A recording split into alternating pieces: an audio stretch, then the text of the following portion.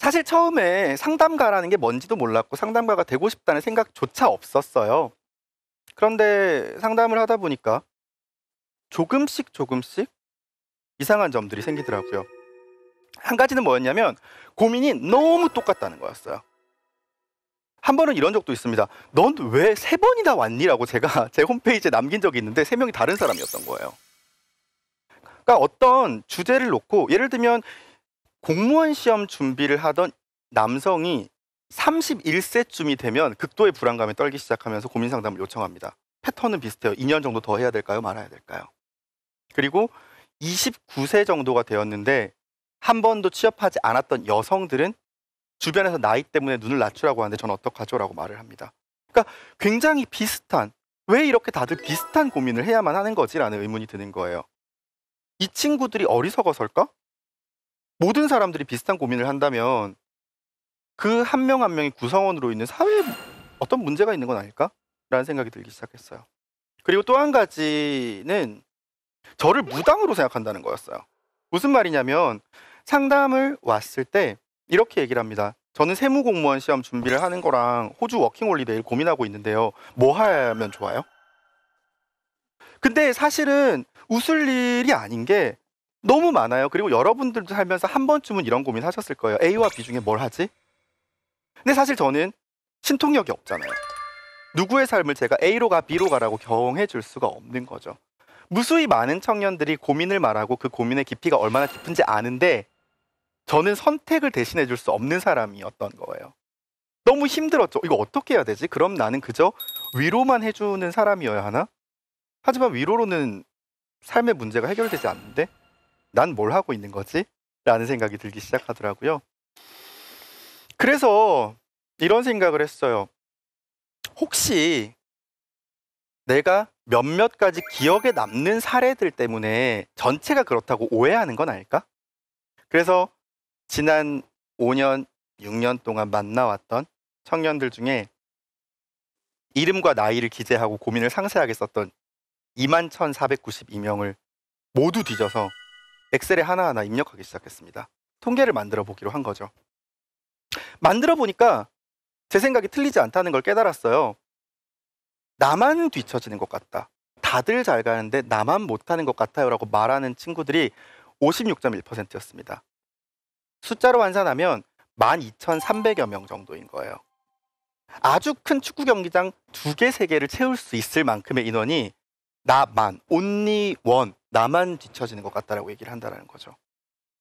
그래서 이 친구들한테 물어봤어요. 그래서 어떻게 하니? 너는 그래서 그걸 타파하기 위해서 어떤 노력들을 하고 있어? 라고 물어봤습니다.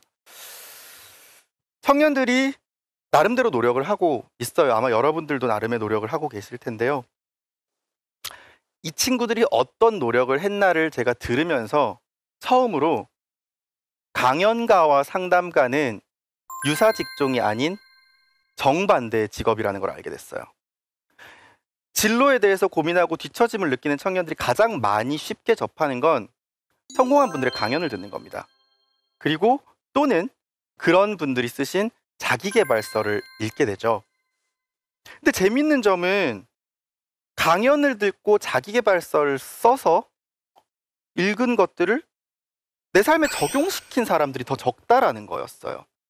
그리고는 상담소에 와서 이렇게 얘기를 하는 거죠. 강연을 듣고 자기개발서를 읽을수록 그렇게 못 사는 내가 대비돼 보이면서 더 비참해졌어요. 강연자들은 말합니다. 다양한 경험을, 다양한 경험을 해보세요. 닥치는 대로 지금 내가 할 수 있는 건 다 해보세요. 괜찮은 말인 것 같아요. 저는 그게 괜찮은 말이라고 생각했거든요. 근데 닥치는 대로 다 경험을 하고서도 나에 대해서 모르는 사람들도 너무 많았고 닥치는 대로의 정의는 뭐죠에 대해서 고민하는 사람들도 너무 많았던 거예요.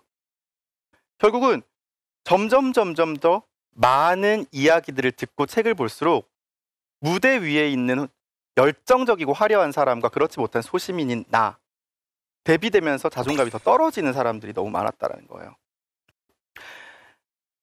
어떤 분들은 그러세요. 그렇지만 그런 이야기들을 통해서 삶이 바뀐 사람도 있잖아요. 저는 딱 이거라고 생각해요. 1861년의 대동여 지도입니다. 이 대동여 지도를 보고요. 지금 2018년의 현재에도 서울의 숭례문을 찾아갈 수 있어요. 이 지도의 숭례문의 위치와 서울의 숭례문의 위치는 그대로기 때문이죠. 하지만 이 지도를 보고 63 빌딩을 찾아갈 수는 없습니다. 1년에 지난 세기에 10년만큼 바뀐다는 지금 현대 사회에서 우리보다 15년, 20년을 먼저 살아간 분들의 성공 스토리는 이 대동여 지도를 보고 무언가를 찾아가는 정도의 정확성이라고 생각해요. 바뀌지 않은 가치를 닮아가는 사람은 적용될 것이고 그보다 훨씬 많은 바뀐 가치를 지향해 나가는 사람은 그들의 이야기가 맞지 않다고 해도 내 잘못이 아닌 건 거죠. 음, 그렇게 많은 노력들을 함에도 불구하고 다른 친구들은 잘 가는데 나는 못 간다는 느낌을 들을 때 뒤처짐을 느끼면서 선택 앞에서 갈등합니다. 뭘 해야 되지? 많은 친구들이 A와 B 중에 나 뭐 해야 돼라고 말할 때 노력해보지 않았던 게 아니에요. 나름대로 경험해보고 고민해보고 조언도 구해보고 다 해봤습니다. 그런데도 선택을 내릴 수 없어 상담가들에게 오는 거죠. 그때 생각을 했어요. 음, 선택을 할 수 있는 그리고 내 삶을 구성할 수 있는 방식은 지금보다 더 많은 경험을 쌓는 것 뿐일까?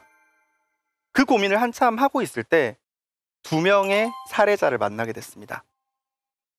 한 친구는요, 음, 22살, 대학교 2학년이었어요. 재수를 했다고 하더라고요. 자기 살아온 삶을 쭉 얘기를 해요. 근데 이런 식이에요. 제가 딱 신기하게 생각했던 포인트가 뭐냐면 저는 정말 열심히 공부하는 타입인데 응용력이 좋지 않았어요. 그래서 내신은 괜찮았는데 수능을 보는 순간 말도 안 되는 등급이 나오더라고요.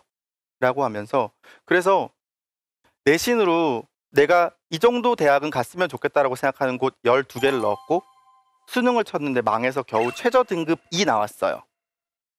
딱 한 군데 붙어서 들어가게 됐죠. 근데 너무 다행 아니에요, 여러분? 최저 등급 두 개가 딱 나와서 딱 맞춰서 갔대요. 그래서 와 브라보라고 생각했어요. 저는 너는 진짜 천운이다. 근데 이 친구는 제 인생은 그런 식이에요. 엉망진창이죠라고 표현을 하는 거예요. 그리고 또 한 친구는 저는 매일매일 항상 힘들어지면 공장에 가요라는 사연이었어요. 그러니까 이 친구는 고등학교를 졸업해서 공장을 다니다가 내 삶을 좀 찾아봐야겠다라는 생각으로 다양한 경험들을 합니다. 공장에서 벌었던 돈으로. 근데 A라는 경험을 해보고 안 맞으니 잠시 다른 경험을 하기 위해서 공장에 가서 돈을 벌고 또 B라는 경험을 해보고 안 맞으니 공장에 가서 돈을 벌고 그런 방식이었는데 왜 저는 배운 게 도둑질이라고 공장에만 가는 걸까요? 한심하게라고 표현을 하더라고요. 근데 저는 거기서 뭘 느꼈냐면 너무 기특하다. 부모님한테 절대 손 안 벌리네 얘는. 이라는 생각이 들었던 거예요. 그러니까 똑같은 현상을 보고 바라보는 모습이 너무 다른 건 거죠.